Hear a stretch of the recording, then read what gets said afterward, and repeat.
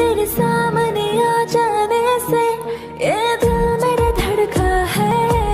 ये गलती नहीं है तेरी, कसूर नज़र का है। जिस बात का तुझको डर है, वो करके दिखा दूँगी।